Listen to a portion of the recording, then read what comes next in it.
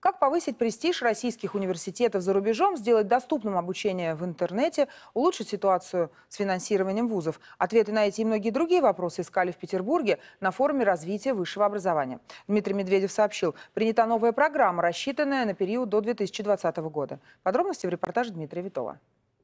В университетском квартале Васильевского острова это здание, пожалуй, самое скромное. Но по количеству памятных табличек на фасаде равных ему нет. Здесь работала целая плеяда выдающихся физиков и химиков 20 века. И сегодня здесь продолжают свои исследования студенты и профессора Института точной механики и оптики. Не случайно именно эта площадка была предоставлена для проведения первого общенационального форума развития высшего образования.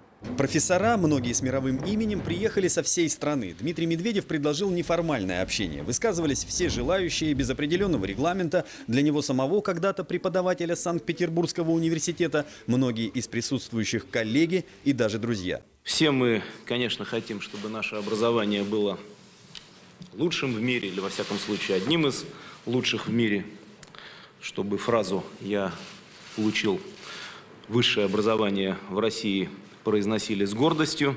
Конечно, вопрос о зарплатах обсуждался одним из первых. Как отмечают профессора, вузы в неравном положении. Наиболее успешные получают гранты, государственные заказы, могут развиваться дальше. А провинциальные чаще рассчитывают в основном на государственные дотации.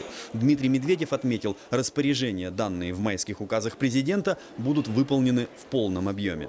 У нас в стране порядка 260 тысяч преподавателей в государственных вузах, подчеркиваю, на них распространяются все те решения, которые были приняты, а именно, что к концу этого года средняя заработная плата по университетам преподавателей должна быть в полтора раза выше, чем средняя заработная плата по региону а в 2018 году уже в два раза.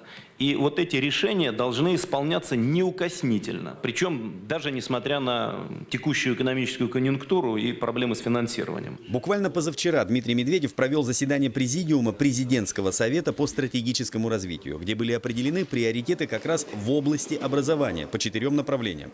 Современное оснащение школ, подготовка высококвалифицированных рабочих кадров, создание центров инноваций на базе университетов и развитие цифровых образовательных технологий. Уже сейчас Сейчас десятки миллионов людей по всему миру обучаются дистанционно, онлайн, что позволяет после прохождения курса устроиться на вполне реальную работу в определенных областях.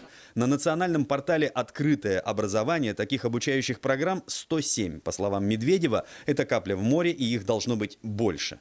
Уровень доступности, который обеспечивает онлайн-образование, просто запредельный по сравнению с традиционными методами обучения. А, более того, он позволяет обучаться людям, в том числе с ограниченными возможностями здоровья, по всей территории страны. Мы уверены, что онлайн-образование сегодня залог создания реальной системы непрерывного обучения в стране. В рамках современной цифровой образовательной среды мы планируем перейти к э, уже другому количеству курсов. В 2017 году их должно быть э, около 500, в 2018 году их должно быть уже тысяча, а в 2020 две тысячи. Э, и число обучающихся должно расти э, в такой серьезной прогрессии. То есть в 2017 году это где-то около 20 тысяч человек, в 2018 100 тысяч человек, а в 2020 около 300 тысяч человек.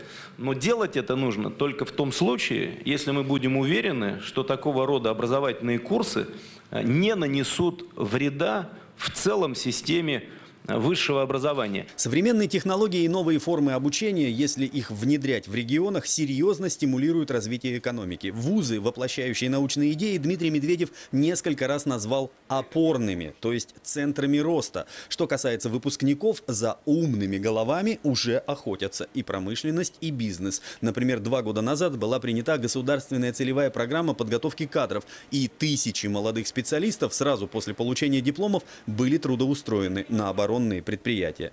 Было подготовлено около 6 тысяч студентов.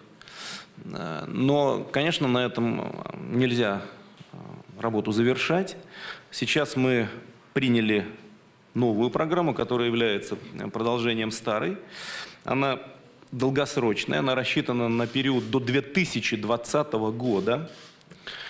И она позволит подготовить 9 тысяч специалистов – в интересах организаций э, оборонно-промышленного комплекса. В процесс поддержки высшего образования нужно вовлекать бизнес, отметил Дмитрий Медведев. Однако подчеркнул, государство будет играть в этом ведущую роль.